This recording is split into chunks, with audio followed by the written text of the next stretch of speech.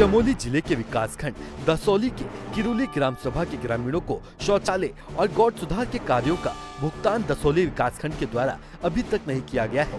ग्राम किरुली के सामाजिक कार्यकर्ता एवं ग्रेन डीलर दिनेश लाल ने बताया कि उनके गाँव में 2000 शौचालयों का और 4000 रुपया गोट सुधार के नाम पर अभी तक मजदूरों के खाते में डाले गए हैं, जबकि शौचालयों का बारह हज़ार पाँच सौ और गोट सुधार का चवालीस हज़ार रूपए का भुगतान होना था।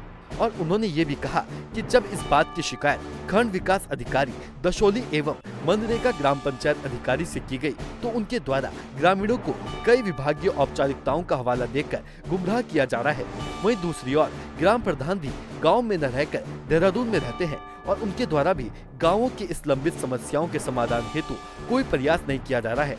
इसी क्रम में दिनेश लाल ने कहा कि मैंने अब जिला अधिकारी चमोली को उक्त मामले में त्वरित जाँच और मजदूरों के पूर्ण भुगतान के संबंध में एक प्रार्थना पत्र प्रेषित किया है। अब ये तो आने वाला समय ही बताएगा कि जिलाधिकारी चमोली कितनी जल्दी जाँच करा के मजदूरों को उनका पूर्ण भुगतान कराएँगे या फिर विभाग के लपड़ चपड़ जवाबों में ही मामला शांत हो जाएगा।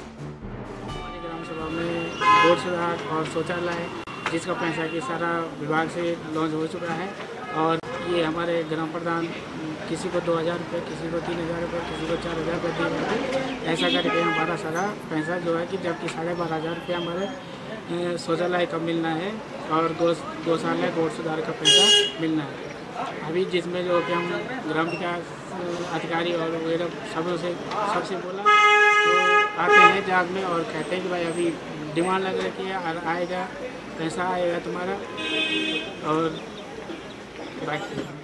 तो आ, कुल मिलाकर के आपको खाली घुमाने की कोशिश करते हैं इसलिए आपकी समस्याओं का समाधान नहीं कर पाते हाँ हैं। ये कोई समस्याओं का समाधान नहीं हुआ मैं डीएम साहब के पास अभी गया था और डी एम साहब से मैं लेटर दे के आ गया कभी बोल रहे हैं कि तुम्हारी डिमांड है कभी ये बोल रहे हैं कभी वो कभी बोल हमने तुम्हारा एडजस्ट कर रहा है कर दिया है तुमको दूसरा कुश्ते का काम दे दिया है कुश्ते में एडजस्ट कर दिया है तो ये कैसे होता है?